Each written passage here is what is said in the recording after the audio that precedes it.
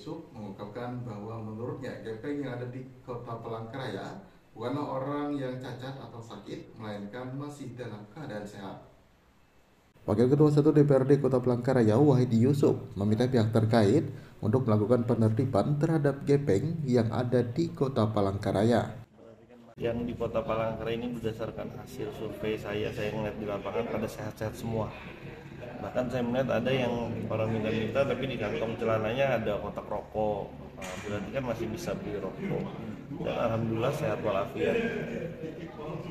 Saya sangat uh, berpesan juga kepada pemerintah kota Palangkaraya khususnya Pak Satpol PP atau pihak terkait untuk menertibkan saya bukan berarti tidak respect dengan masyarakat kecil atau apa. Kalau dia berusaha atau jualan pasti saya bela.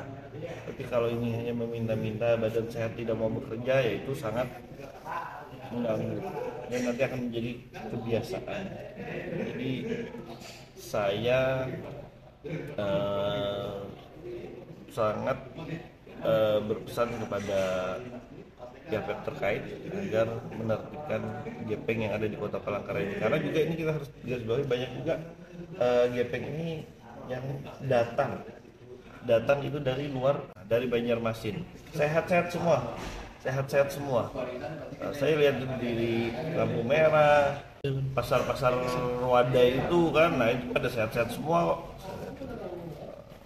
jadi uh, sangat tidak mendukung dengan adanya gepeng itu saya berharap pihak-pihak terkait bisa menertibkan hal tersebut yang menambahkan bahwasanya gepeng yang menjamur saat ini bukanlah murni masyarakat Palangkaraya, melainkan ada beberapa yang datang dari luar seperti halnya dari provinsi tetangga. Dari Kota Palangkaraya, Ahmad Sampai TV mengabarkan.